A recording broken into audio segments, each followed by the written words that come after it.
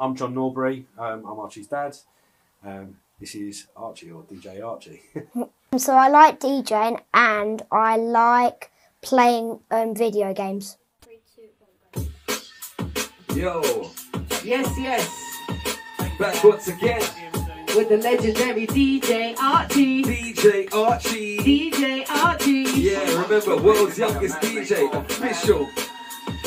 Don't know, Stars and Diesel. Place, let's go. Step to Stars and Diesel, man. Them can't do that. Step to DJ Archie. Them can't do Just like with the Grim Reaper. Hey, Yes, yes. DJ Archie, man. rolling out some wicked bangs. Just big boy vibes right now. You don't. you know, for like about two and a half to three, Archie was just standing there watching, and I was saying, "Don't touch my expensive equipment."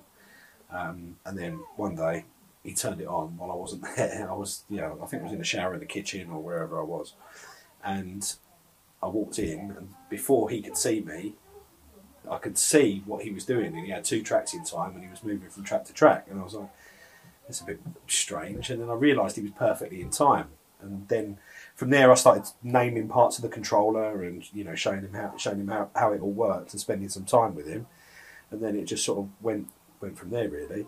Um, I made a few videos. I put them on my personal social media, and they got quite a few view, quite a few views. So I thought, you know, I'll I'll create a page for him, you know, just so I could document the memories for him. Gained some interest. We got contacted by MC Melody, didn't Yeah. we? Um, That was ca- my first that was the- MC. that was the first MC you had come round, Yeah. and then from there it sort of, you know, exploded. Drum and bass and we go Round the globe with bars of flow. Yo, man, I love drum and bass. Man, I love B&B. I love the vibes it's created across the board in the scene. Man, I love the drums. Hell, I love B&B. It's easy to get the feeling when you party with G. I like watching the crowd like hype up when I do like double drops. What sort of music do you like?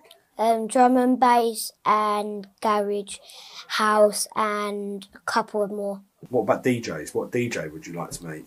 Andy C. You'd like to meet Andy C, wouldn't you? Yeah. Yeah. boy. I got the drum boy, and I come like man, don't look boy. Got a big shot for that big stuff that I'm thinking of my job boy. Yeah. my job boy, you're some job boy, I'm exclusive, you're some top boy. While I'm raging on that candy, your army so I got choice. and I got choice.